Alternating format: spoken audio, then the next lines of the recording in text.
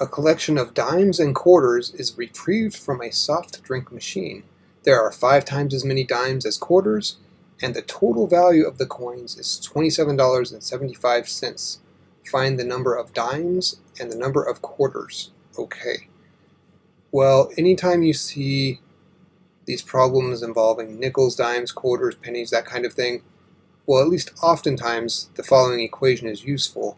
Cost times number equals value.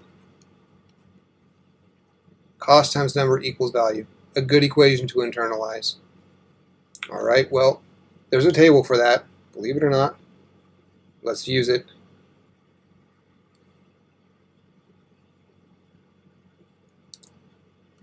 Okay, here we go. Cost times number equals value in a table form in table form. So if you remember this formula, that tells you the top row of the table here. Cost times number equals value. Okay, so what do we get? We have dimes and quarters. So I'll put dimes here, dimes and quarters down here. Okay, the cost of a dime is 10 cents, 0.1, right? You don't have to put 1, 0 because a 0 to the right of a number that's to the right of a decimal does not matter. Quarters 0.25. Hmm. Okay, let's see here. There are five times as many dimes as quarters. Five times as many dimes as quarters. All right, so what that tells me is if I let x be the number of quarters, then there are five times as many dimes five times as many dimes as there are quarters. So let x be the number of quarters. All right. Then we simply multiply across here, 0.1 times 5x, and then here we have 0.25x.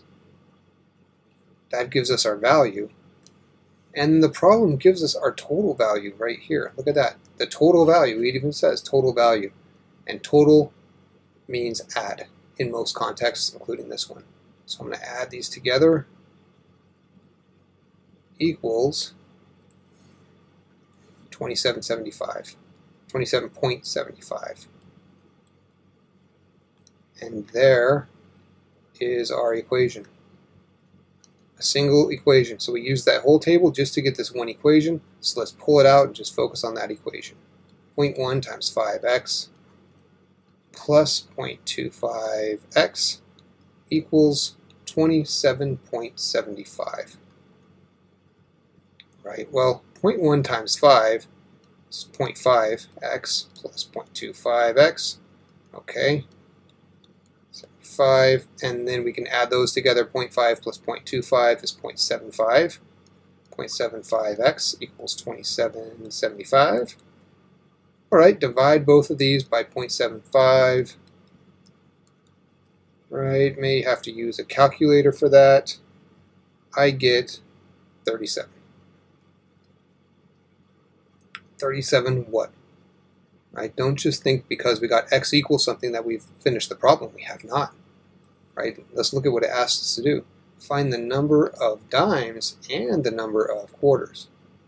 Okay, well, we decided that x was the number of quarters. So then for our answer, we might write something like this.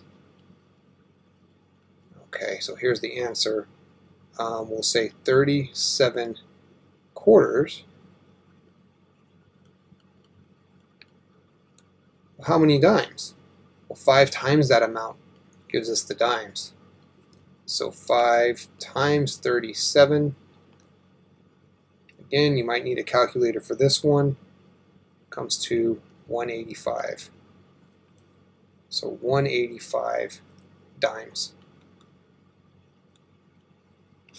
Okay. Then a quick check. Ask yourself, is this answer reasonable? Yeah, it's reasonable, right? I would expect something in that ballpark if I got something like 5,000 or 2, then I would have um, some more questions and I'd go back and check my work very closely. But this is a reasonable answer. It's in the ballpark. We'll go with it.